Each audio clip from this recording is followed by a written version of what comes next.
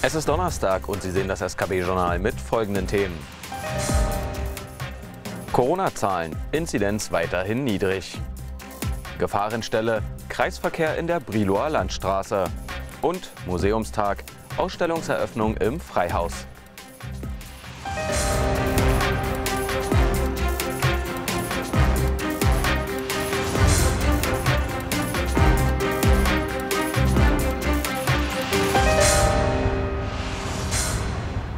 Und damit herzlich willkommen zum SKP-Journal. Wir starten auch in die heutige Sendung mit den aktuellen Corona-Zahlen. Die 7-Tage-Inzidenz laut Robert-Koch-Institut liegt mit Stand vom Donnerstag bei 365,1. Im Vergleich zum Vortag gab es 48 Neuinfektionen, in den letzten sieben Tagen gab es 263 Neuinfektionen. Der Kreisverkehr in der Briloer Landstraße hat sich in den letzten Jahren zu einer Unfallhäufungsstelle entwickelt. Und fast alle Unfälle geschehen zwischen einfahrenden Kraftfahrzeugen in den Kreisverkehr und Radfahrern. Überwiegend geschahen die Unfälle aus dem Kreisverkehrsarm der Briloer Landstraße stadteinwärts. Bei einem durchgeführten Sicherheitsaudit konnten keine verkehrstechnischen Mängel festgestellt werden. Aus diesem Grund wurde als letzte mögliche Maßnahme zur Reduzierung der Unfälle mit Radfahrern die Markierung des Gefahrenzeichens Achtung Radverkehr auf der Fahrbahn stadteinwärts vor dem Kreisverkehr angeordnet. Diese Markierung wurde durch eine Fachfirma aufgebracht. Durch die Markierung soll der Fahrzeugverkehr zusätzlich sensibilisiert werden, auf den Radverkehr noch mehr zu achten.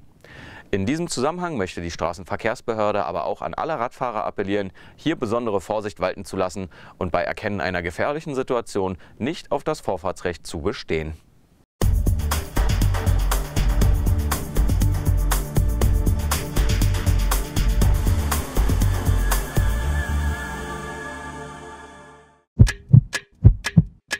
Gesunder Blutdruck? Knobi Vital, der Knoblauchtrunk aus dem Allgäu. Altbewährt und hilfreich. Knobi Vital mit Kurkuma für einen gesunden Blutdruck durch das im Kurkuma enthaltene Kalium. Knobi Vital, erhältlich in allen Apotheken und Reformhäusern. Beratung und Information unter 07528 20 6000. Knobi Vital mit Kurkuma für einen gesunden Blutdruck. Seine Leidenschaft ist das Wandern. Doch das wurde für Josef Bader immer beschwerlicher. Vor zehn Jahren wurde bei ihm Arthrose im Knie festgestellt. Vor zwei Jahren konnte er kaum noch gehen. Ich konnte nicht mehr länger wandern, äh, das Radfahren ging schwer, Treppesteige, Katastrophe. Josef Bader hat es geschafft. Sein Knie kann er wieder schmerzfrei bewegen. Geholfen hat ihm letztendlich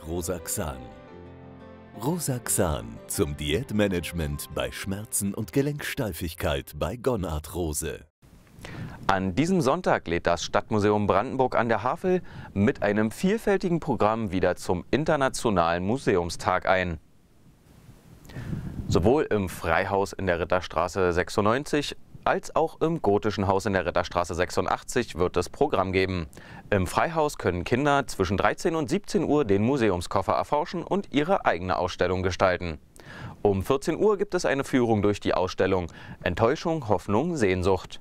Um 16 Uhr eine Führung durch die Ausstellung Neu in der Sammlung Schenkungen von 2020 bis 2022. Um 15 Uhr wird im Freihaus die Kabinettausstellung Mal mich mit Arbeiten der Künstlerin Ute Ringel aus Kirchmöser eröffnet. Im Anschluss sind alle Besucherinnen in das Gotische Haus eingeladen.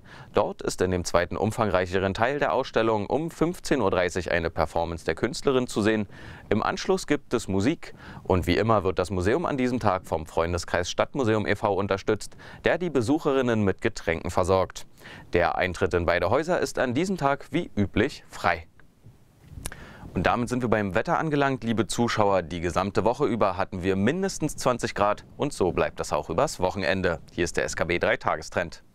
Am Freitag erwarten uns Temperaturen zwischen 9 und 20 Grad, dazu kommt ein leicht bewölkter Himmel. Am Samstag und Sonntag erreichen die Maximalwerte 23 bzw. 24 Grad. Auch hier überwiegt die Sonne am Himmel. Liebe Zuschauer, das war das SKB-Journal vom Donnerstag. Ich wünsche Ihnen noch einen schönen Abend und sage Tschüss. Machen Sie es gut.